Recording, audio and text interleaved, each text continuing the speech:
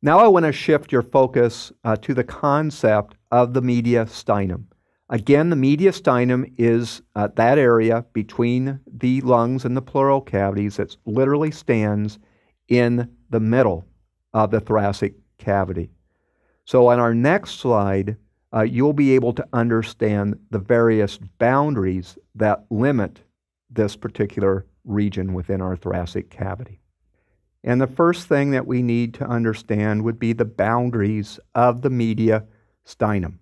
And those boundaries will be an anterior boundary, a posterior boundary, a superior boundary, as well as an inferior uh, boundary.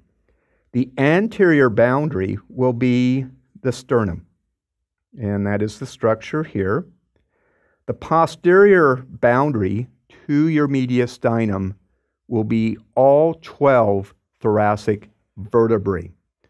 Uh, T1 is here, 2, 3, 4, 5, 6, 7, 8, 9, 10, say a little bit of 11, and then 12 would be just a little bit below this illustration.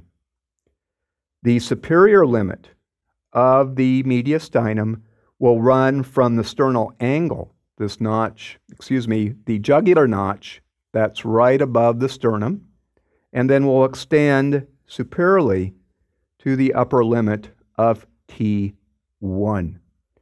The inferior boundary will be limited by the diaphragm, and as it comes around posteriorly, it will dive down to T12. The mediastinum can be divided into various divisions. We have a superior division to our mediastinum, then we have a larger inferior division, uh, which can be uh, subdivided into smaller parcels. So we need to understand uh, the boundaries of these divisions and subdivisions. The first here is a separation of the superior mediastinum from the inferior mediastinum. Our reference points will be the sternal angle, which is formed at the point where the manubrium articulates with the body of the sternum.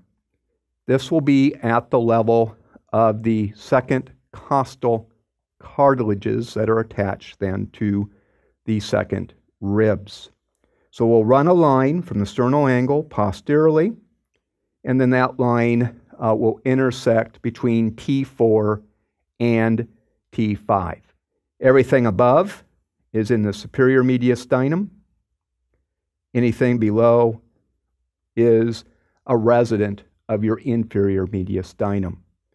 Now, again, we can subdivide the inferior mediastinum into an anterior mediastinum, middle mediastinum, and a posterior mediastinum. The anterior mediastinum is shown here in green, and it is uh, an area that is between the sternum anteriorly and the pericardium posteriorly. The posterior mediastinum is shaded here, and I'm actually going to kind of go over here to the bronchi that are shown here and throw them into this pink uh, shaded area. This is the posterior mediastinum, and it's located between the uh, more inferior thoracic vertebrae and the pericardium here posteriorly.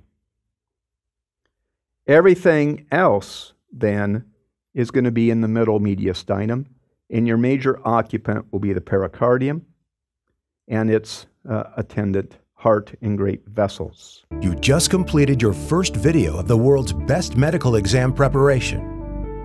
Lecturio brings the knowledge of worldwide leading medical experts and teaching award winners to your PC, tablet, or smartphone.